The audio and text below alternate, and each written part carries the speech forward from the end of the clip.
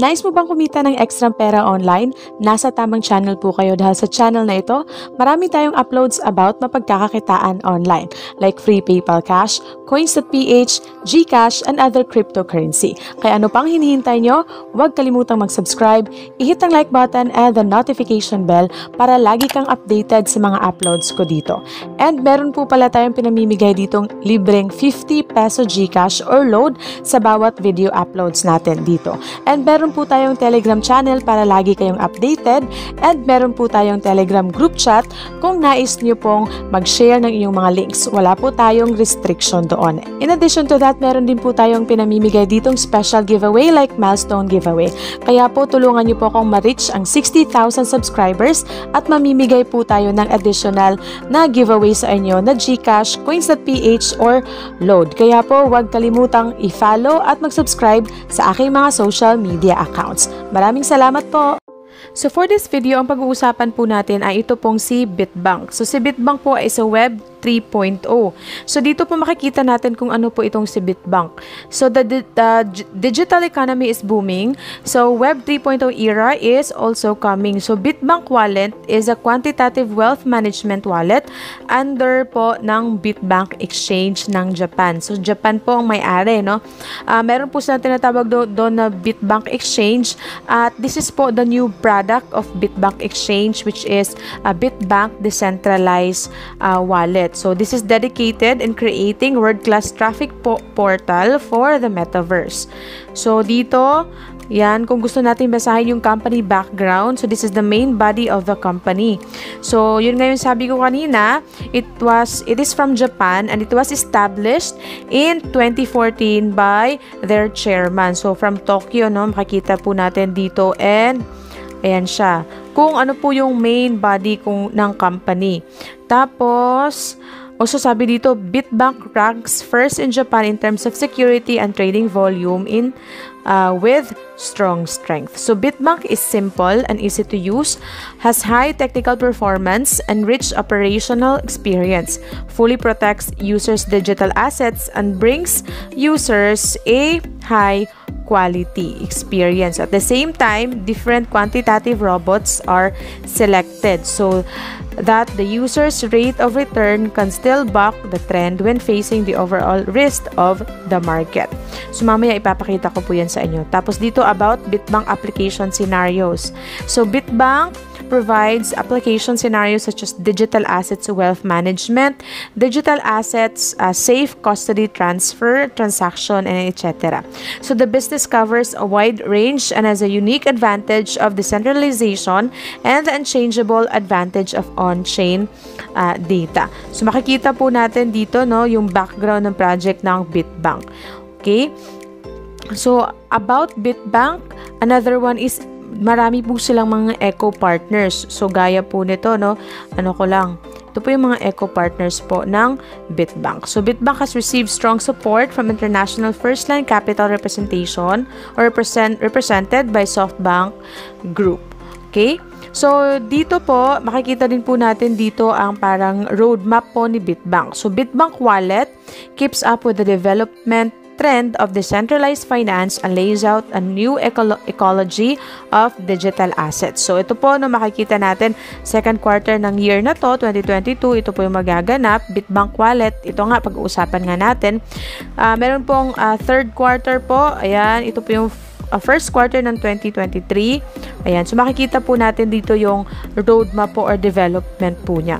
So dito po sa quick use, ito po meron din po silang mga ano no, uh, guide kung paano po natin gamitin si Bitbank. So mag-register po tayo, ganon. So mamaya ipapakita ko po 'yan sa inyo. Okay? So, ngayon punta na po tayo sa wallet. So, in 2014 po, meron pong na-create doon or na-establish na uh, exchanger na Bitbank Exchanger. At ito pong si Bitbank na decentralized wallet, ito po yung latest product po ng Bitbank, Bitbank Exchange. So, makikita po natin dito, kay maganda naman po yung rating niya. Sabi dito, wala naman po daw issue. At ayan, dito po makakapag-exchange din po tayo at makapag-store po tayo ng ating mga crypto assets. So, meron pong link dyan sa video description box kung nais niyo po siyang i-try.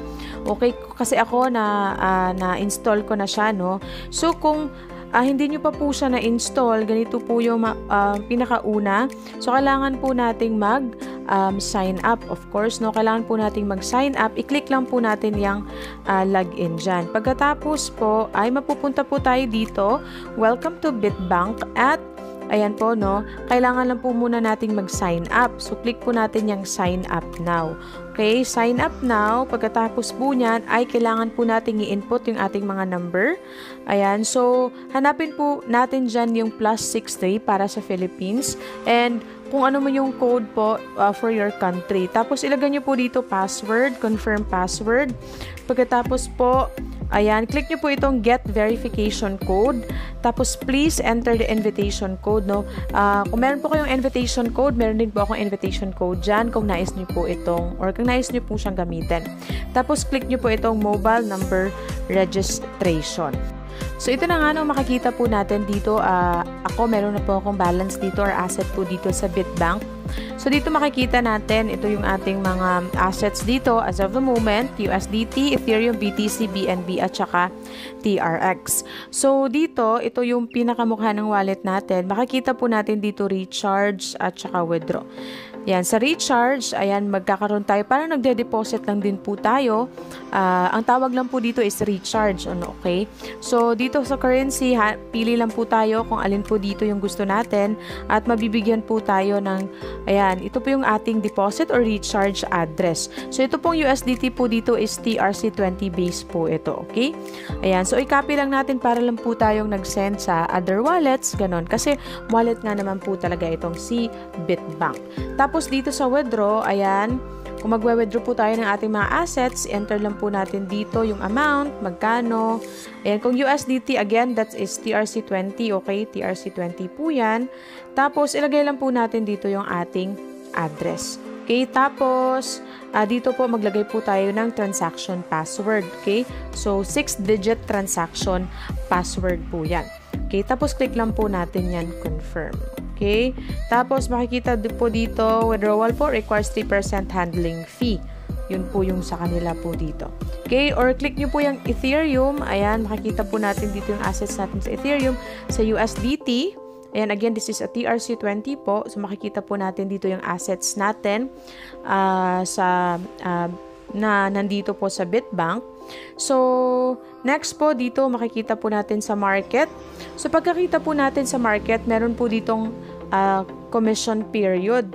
So, ito po, meron po tayong expected monthly return na 24%, 36%, 48%, 60%, and 72%. So, 24%, that is po expected monthly return. Okay, ang commission po ay binibigay po every month. So, pwede pong Ethereum, meron din po ditong 15 to 27, 39, 48 at 60. Meron din pong BTC, yan, BNB at saka po TRX. So, dito po sa USDT, nakapag-delegate na po ako. For example, sa one day po tayo. Ayan, makikita po natin dito yung usable po. Kung meron na po tayong uh, pera dito sa Bitbank, pakita po natin dyan sa usable. Pagkatapos po, kung nais nyo pong ilagay o mag-profit po kayo by just holding our assets, dito sa Bitbank wallet, ay i-entrust lang po natin to. So, i-click po natin dito Okay?